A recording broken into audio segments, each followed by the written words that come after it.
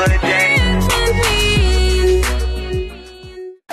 One's got for all lovers. One's got for all lovers.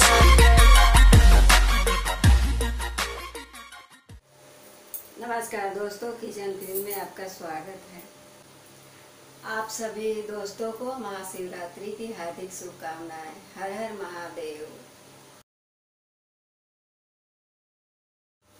दोस्तों, आज मैं बनाने जा रही हूँ फ्रूट कस्टर्ड इसके लिए इंग्रेडिएंट्स चाहिए। सबसे पहले आप चार केले लें, इसको बारीक काट लें। काली वाली अंगूर थोड़ा सा दूध कस्टर्ड मिलाने के लिए चीनी, एक कटोरी अंगूर, एक कटोरी चेरी, इलायची और कस्टर्ड पाउडर और उबला हुआ एक लीटर दूध।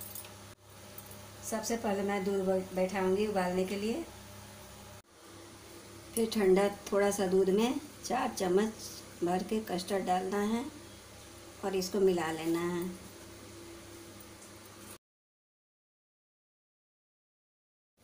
इस तरह से इसको कस्टर्ड को मिला लेना है।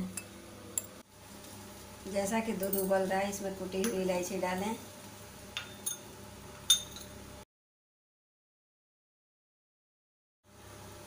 चीनी डाल दें।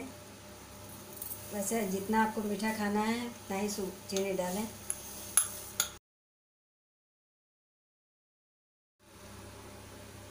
जैसा कि दूध बॉयल हो चुका है, चीनी मिल चुका है, अब हम इसमें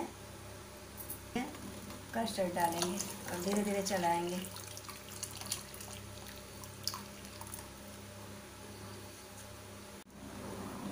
इसको चलाते रहें ताकि इसमें गुठली नहीं पड़े। और ये दो, ज़्यादा से ज़्यादा पाँच मिनट तक इसको उबालें, उसके बाद कस्टर्ड तैयार। इस तरह से कस्टर्ड तैयार है। अब हम इसको ठंडा करेंगे, उसके बाद हम फ्रूट्स मिलाएँगे। इस तरह से कस्टर्ड ठंडा हो गया है, अब हम इसमें फ्रूट मिलाएँगे। पहले केला डालें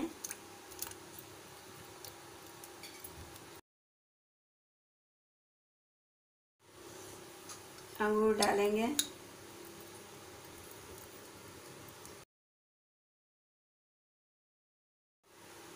फिर काली वाली अंगूर डालेंगे।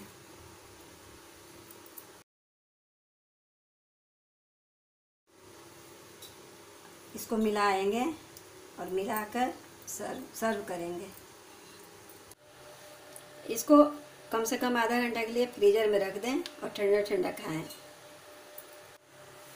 इस तरह से फ्रूट कस्टर्ड तैयार है। आप घर में खुद ट्राई करें और बनाएँ और खाएँ और खिलाएँ और बताएँ कि कैसी बनी है।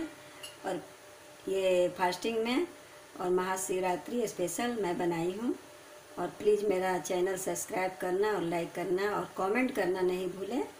Thank you.